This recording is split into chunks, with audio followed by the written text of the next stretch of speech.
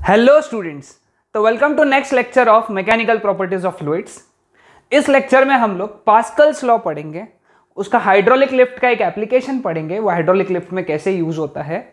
और ब्रेक्स में जो तुमने पढ़ा होगा हाइड्रोलिक ब्रेक्स वो कैसे वर्क करते गाड़ियों में सुना होगा ना हाइड्रोलिक ब्रेक्स के बारे में? वो कैसे वर्क करते उसके बारे में पढ़ेंगे।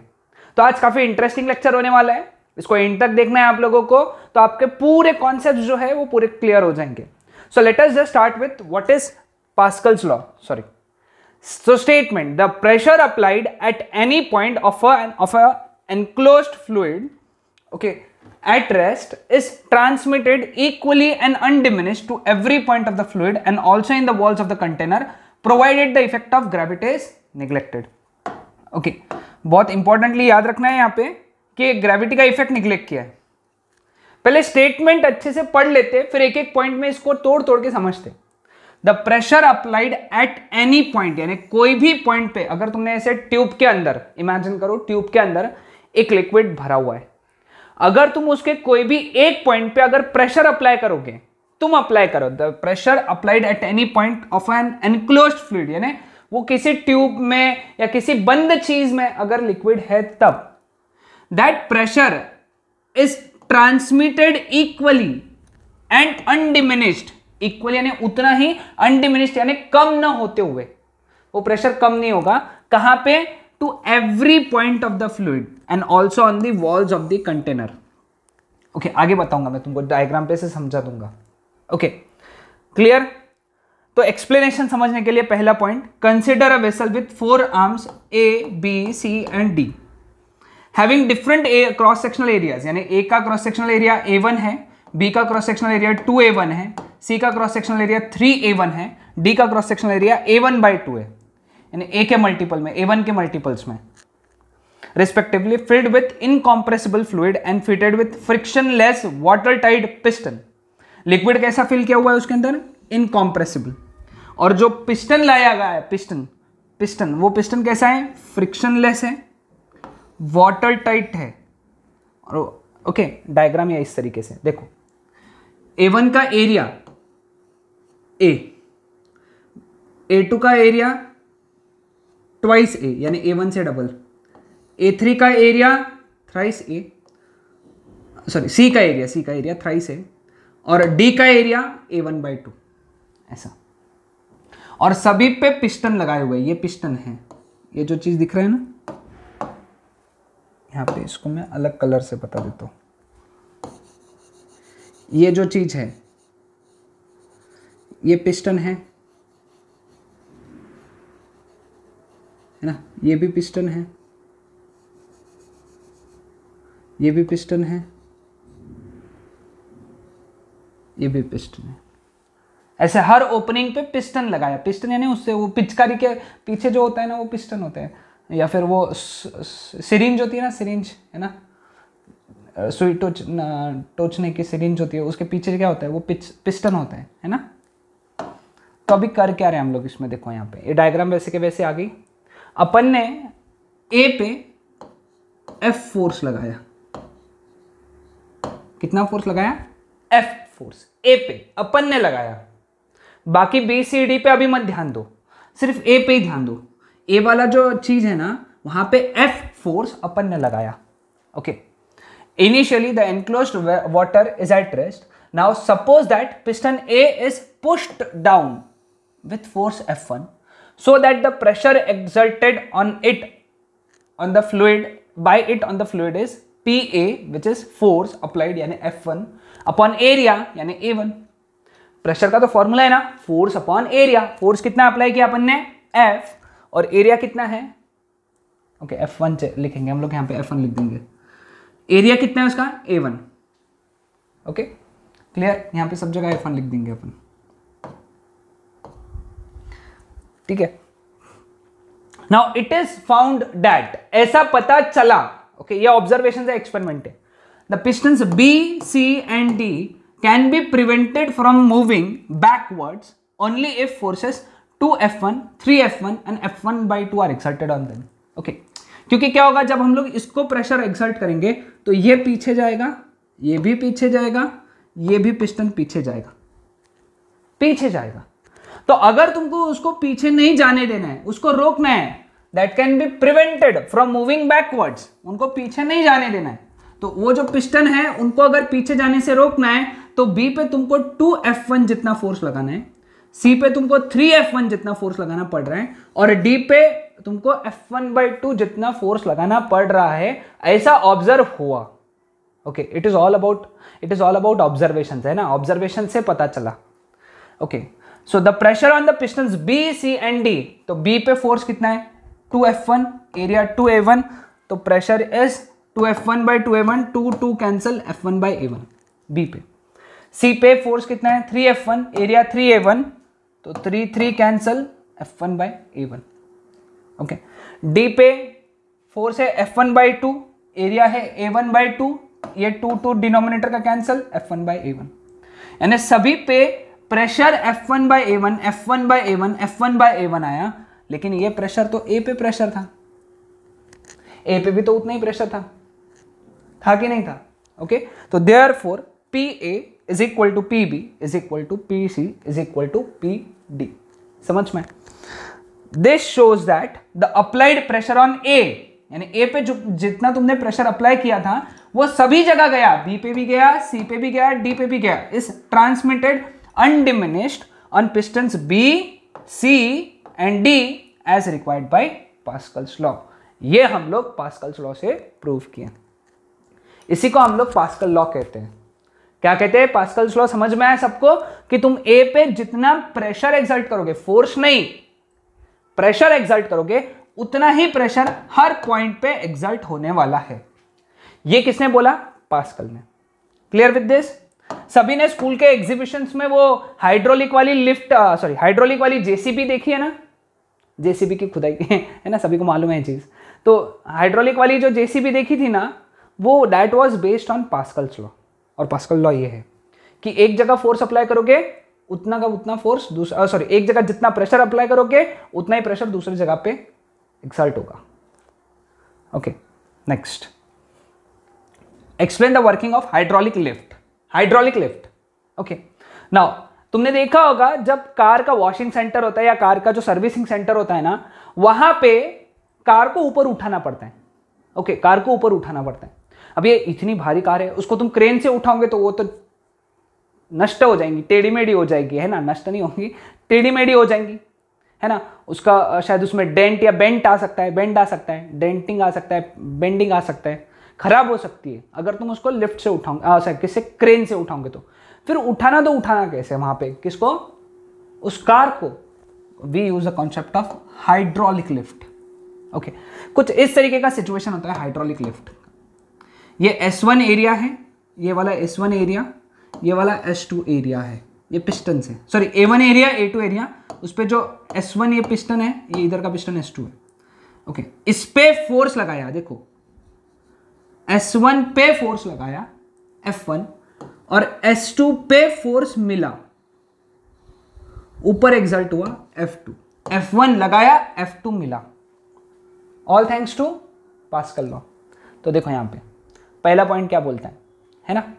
पहला पॉइंट है hydraulic lift which is use to lift और support heavy objects such as cars trucks etcetera works on the basis of Pascal's law hydraulic lift किसको काम में आता है उठाने में? कार्स और ट्रक्स को।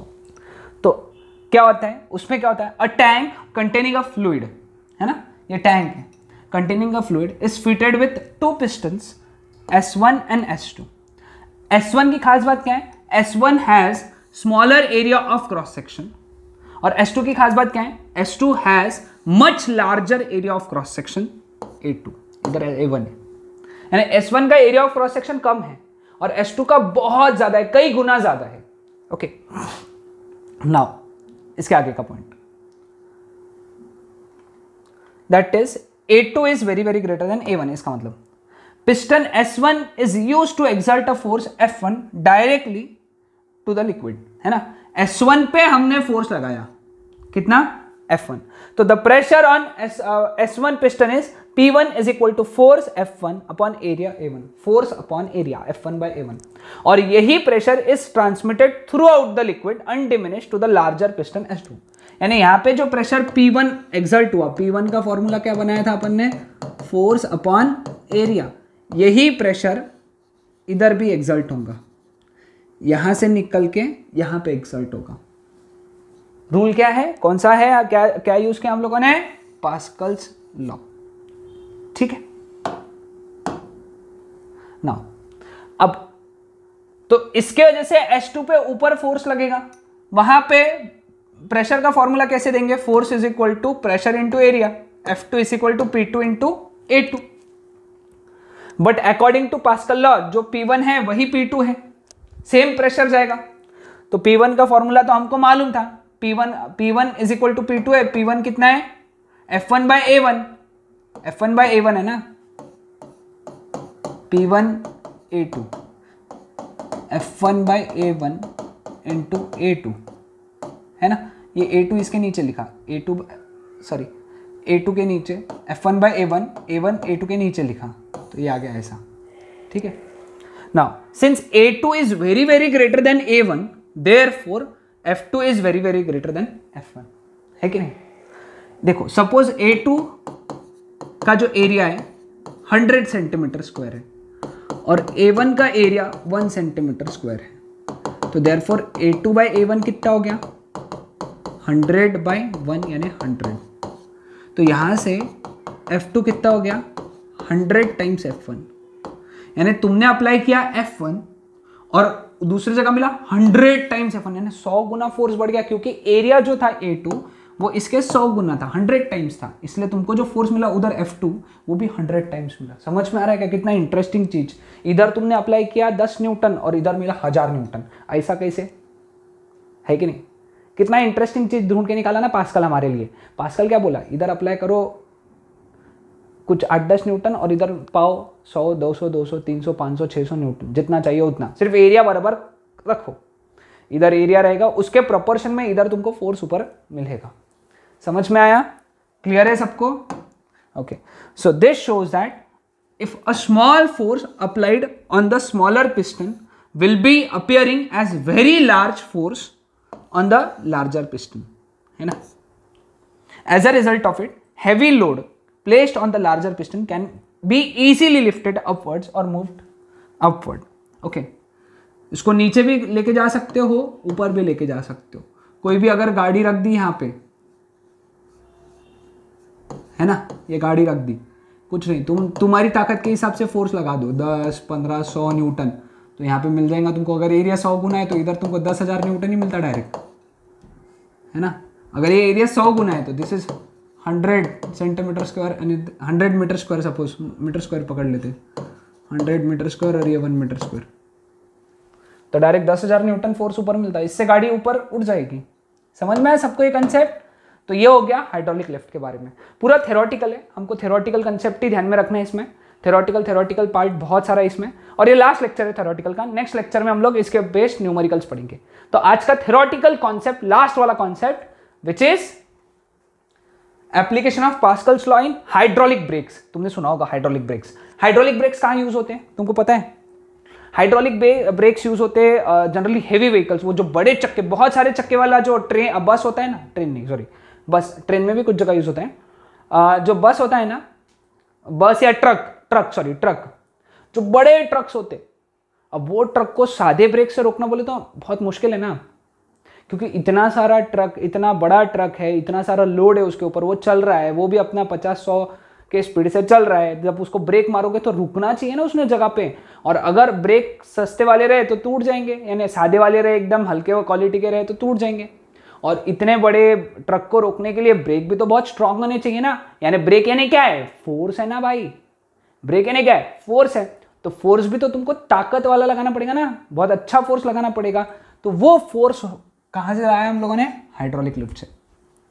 तो हाइड्रोलिक ब्रेक्स तो क्या है इसका कंसेप्ट क्या है? हाइड्रोलिक ब्रेक्स का? Hydraulic brakes are based on the principle of Pascal's law ये पास्कल्स लॉ पे बेस्ड है। Okay it consist of a master cylinder of area of cross section A one समझ लो, पहला पार्ट इसके अंदर क्या है? इसके अंदर एक बड़ा सिलेंडर है, जिसको हम लोगों ने बोला मास्टर बड़ा यानी एक सिलेंडर है। उसको बोलते हैं मास्टर सिलेंडर ओके उसका एरिया कितना है? A one one end of the cylinder यानी कौन सा master cylinder is attach to the frictionless air tight piston P यानी उस सिलेंडर का एक end frictionless airtight piston P को अटैच्ड है। और दूसरा the piston is connected to the brake pedal और वो जो पिस्टन है, वो किसको कनेक्टेड है? ब्रेक पैडल को। जो ब्रेक होता है ना, पैरों में जो ब्रेक होता है ड्राइवर के पैरों में जो ब्रेक होता है पैरों वाली बात चल रही है, क्योंकि ट्रक ट्रक में थोड़ी ना हाथ में ब्रेक होता है। अपने साइकिल के जैसा तो नहीं होता है ना? तो जो पैरों में ब्रेक होता है ना, वो पेडल, ब्रेक पेडल बोलते हैं उसको। वो वो जो ब्रेक पेडल है, यानी तुम अब अगले बार जब वो ब्रेक पेडल देखो तो वो किसको कनेक्टेड है बेटा?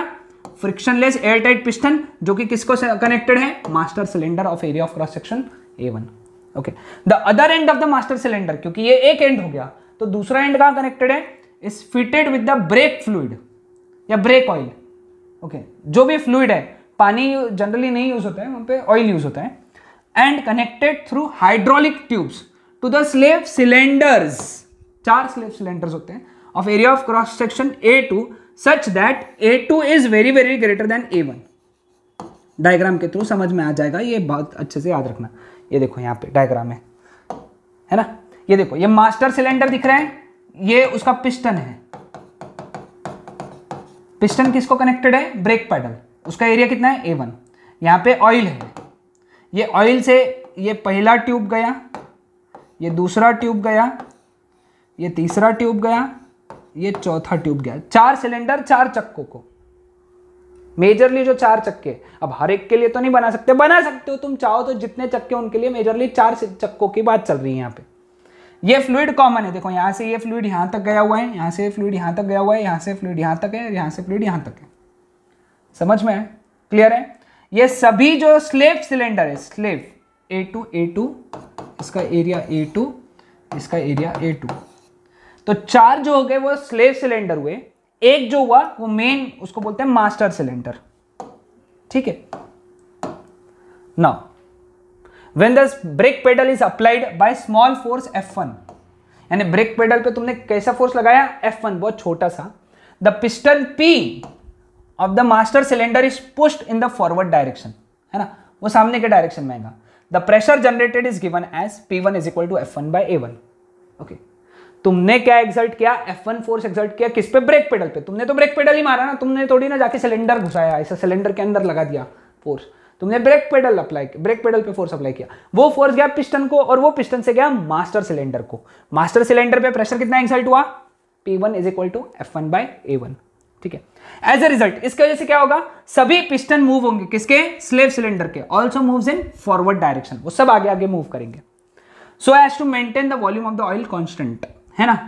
पास्कल लॉ सभी यही pressure the slave piston pushes the friction pads against the rotating disc अब स्लेव स्लेव का जो सिलेंडर का पिस्टन है, वो ब्रेक पैड्स को कनेक्टेड है।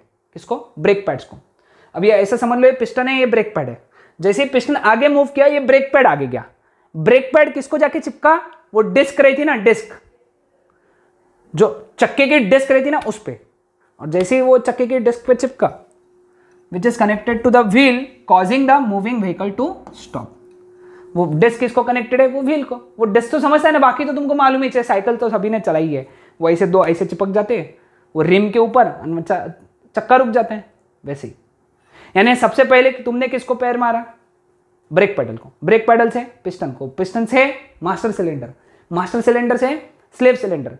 स्लेव सिलेंडर से, पिस्टन। और पिस्टन से, friction pads. Friction pads. Friction pad से, रोटेटिंग डिस्क। डिस्क से, व्हील। और चक्का रुक गया। समझा क्या? Clear? Brake pedal, piston, master cylinder, slave cylinder, piston, friction pad, rotating disc, wheel. Clear ऐसा दिमाग में पिक्चर बना? Okay okay. ये डायग्राम वही है वापस से. क्लियर विद दिस हाँ? सभी को ध्यान में आया? तो अब नेक्स्ट क्या आएगा? सॉरी यहाँ हटा नहीं गई. The force F two on the slip cylinder is F two is equal to pressure उस पर पी वन लगेगा into A two P one का फॉर्मूला अभी लिखा हम लोगों ने. सभी ने साथ ही साथ लिखते चलना है. तो एफ़ टू कितना रहेगा? F one into A two by A one अब ए टू जो है that is very very greater than A one वो तो लास्ट पॉइंट में भी लिखा था हाइड्रोलिक लिफ्ट में. तो therefore F two is very very greater than F one this shows that a small force applied on the brake pedal जो तुमने अप्लाई किया, तुम्हें थोड़ी ना इतनी ताकत है वो इतने बड़े बड़े चक्कों को रोकने की पकड़ के। तुमने तो बहुत ही थोड़ा सा फोर्स लगाया। किसके ऊपर लगाया? ब्रेक पेडल पे। वो कन्वर्ट हो गया लार्जर फोर्स पे विच स्लोज डाउन और स्टॉप्स अ मूविंग व्हीकल इस तरीके से। ओके क्लियर विद दिस तो ये था हमारा आज का टॉपिक नेक्स्ट लेक्चर से हम लोग न्यूमेरिकल स्टार्ट करेंगे, इसके ऊपर के न्यूमेरिकल्स पढ़ेंगे। सभी ने थ्योरी लिख लेना इस, इन सभी जो आज जो पढ़ा है मैंने, सबसे पहले पास्कल लॉ पढ़ाया हाइड्रोलिक लिफ्ट पढ़ाया, और फिर फाइनली हाइड्रोलिक ब्रेक्स पढ़े। ओके इस सभी का थ्योरी अच्छे से लिखना है, और फिर फाइनली हम लोगों को पढ़ना है इसको। है ना? कल हम लोग इसके न्यूमेरिकल्स करेंगे। That's it